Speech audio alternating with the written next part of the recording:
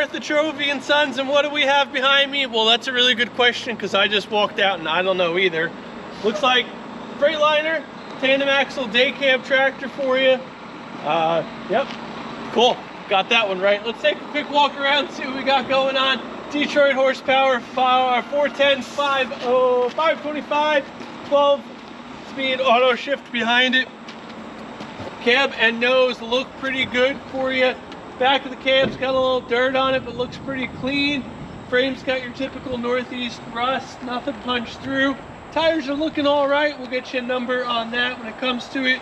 Pinto hook in the back. I don't see any electric or air, but it could definitely be tucked up in there. Fifth wheel doing what it's supposed to do. 40,000 pound rears with a power divider on it for you. Dual fuel tanks, DEF system,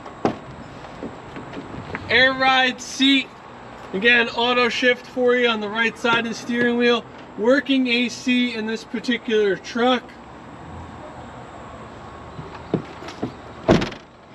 2019 Freightliner Cascadia tandem axle day cab tractor. No check engine light, no ABS light on.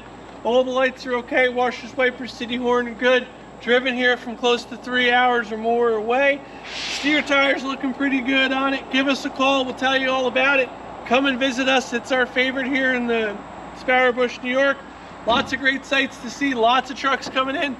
Give us a call. Hot deals for, for bulk buyers, fleets, swapping out, new startups. Give us a call. Tell us what you got going on. I love hearing your stories. Stop by and talk to us. Tell us what you're looking to do, and we're going to do our best to help you get down the road.